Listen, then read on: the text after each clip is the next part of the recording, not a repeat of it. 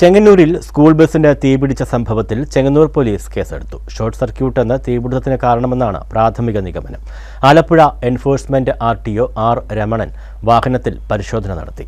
ബസിന് എല്ലാ രേഖകളുമുണ്ട്. വിദഗ്ധ പരിശോധനയ്ക്കായി നാല് എം ബി ഡി ഉദ്യോഗസ്ഥരെ നിയോഗിച്ചിട്ടുണ്ടെന്ന് അധികൃതർ അറിയിച്ചു.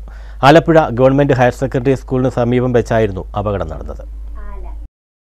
ആല ഗവൺമെന്റ് ഹയർ സെക്കൻഡറി സ്കൂളിന് സമീപം വെച്ചായിരുന്നു അപകടം നടന്നത്. മാന്നാർ ശ്രീ ഭുവനേശ്വരി സ്കൂളിലെ വിദ്യാർത്ഥികളുമായി പോയ ബസ്സിനാണ് തീപിടിച്ചത് പുക ഉയർന്നതോടെ ഡ്രൈവർ വാഹനം നിർത്തി കുട്ടികളെ പുറത്തെത്തിച്ചു. തലനാരിഴയ്ക്കാണ് വൻ ദുരന്തം ഒഴിവായത്.